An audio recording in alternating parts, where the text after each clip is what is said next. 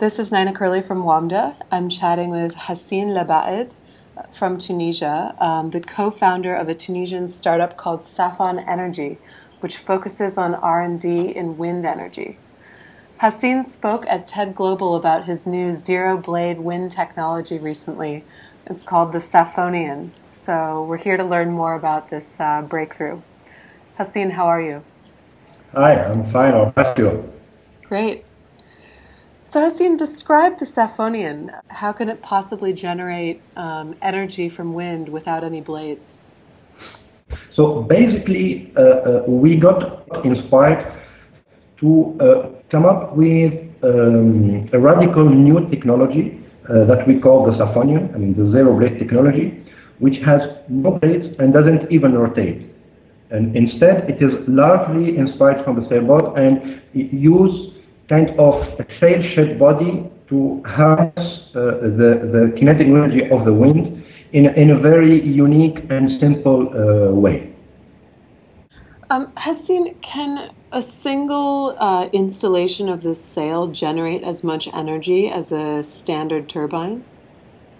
So, in terms of efficiency, um, the current wind turbine uh, uh, Uh, an average efficiency of about 35%. What, uh, that means that if you have 100% uh, initial um, um, kinetic energy of the wind coming to attack the turbine, you end up converting 30% of this initial wind into electricity.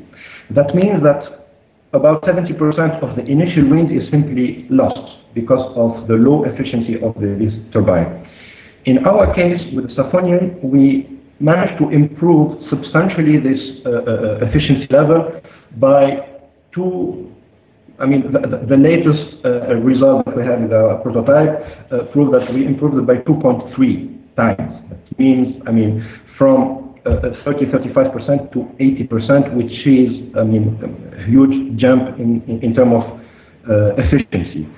Uh, on top of that, it is very, very cheap to manufacture because we are removing most of, I mean, uh, some of the most expensive component of the current three-blade turbine. And on top of that, uh, we have the option of energy uh, storage. I mean, the, the Saphonian, the way it's designed, this allows us to um, store the hydraulic pressure, you know, uh, at a very affordable uh, way, in a very affordable way. How did you fund your creation of the Saphonian? And is Tunisia a good place to develop uh, wind technology? It was not an easy game uh, having just a technology, a technology, uh, a very promising technology, technology coming from places, you know, like like Tunisia, like you know, the developing world, you know, it's it's it's not very common. So obviously, people and many investors were quite skeptical. You know, say, okay, uh, with two kids, you know, in Tunisia, uh, uh, claiming that they have uh, a breakthrough innovation. So we had to sell, you know, and and, and our idea by, um, um, you know, by an emotional transfer and, and connection. Rather than you know uh, a tangible uh, a demonstration of in terms of uh, evaluation or in terms of future cash flow or because at this stage uh, it's very subjective. It's very tough to put a value on, on stuff like that. So it is more on the connection with the people the trust that you build the fact that you, you, you show that my partner and I are giving up our entire uh, international career, my banking career, Anis uh, has a very, very successful career with, uh, you know, oil and gas giant. So these investors, when they saw what what are we are doing, you know, to pursue this this venture, they said, okay, for sure there is something, you know, uh, uh, uh, here. So they they took the risk and they founded the the venture uh, and we closed the first funding round uh, about um, eight months ago. Well, Mabruk, it, it, seems like a technology that needs to be funded. Um, I'm glad investors have come around to understanding it. What are the next steps for you in terms of deploying prototypes?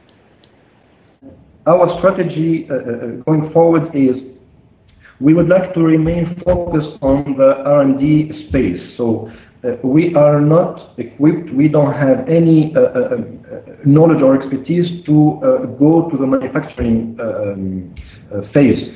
we, I mean, our aim is to partner, let's say, with a major player in the wind or, or um, energy, let's say, sector, to take um, this technology to the next level and start uh, quick deployment. So uh, we are looking at you know at a joint venture or or, or, or, or some some kind of partnership where a big guy with the established track record and established you know capacity and knowledge you know will uh, partner with us. We we bring the, the technology, bring you know the capacity and the resources so that we can go to the next level uh, quickly, hopefully. Thanks so much for chatting with Wamda Hassine. Thank you, Alina. Thank you very much. Look forward to hearing from you very soon, hopefully.